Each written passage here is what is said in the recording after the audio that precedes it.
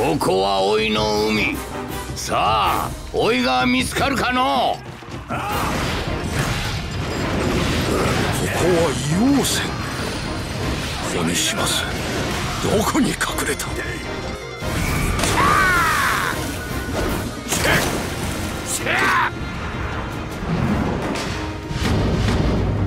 行ってご指南お頼みします若きがこうまで育っとったとはの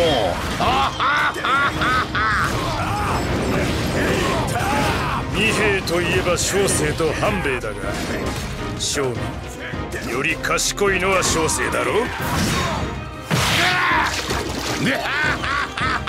こりゃかなわん、うん。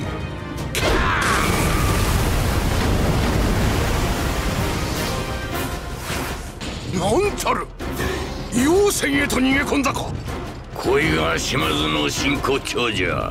探ってみせい。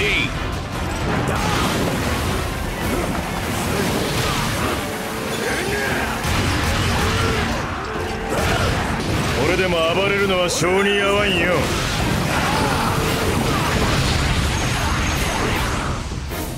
お前さんの方がよほど真っ暗だな。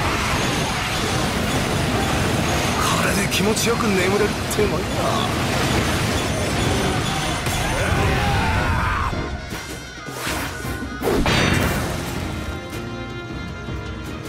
さあ旭日昇天の者たちよ。追い場倒し天を時代を駆け抜けるがよか。小生も腹が立ってるんでね。手加減なしだ。恩子知心学ばれるべき古きとなれっかの。足負けだ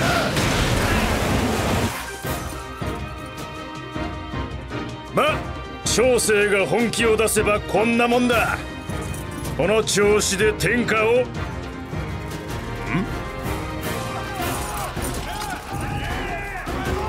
ままずい。逃げろ。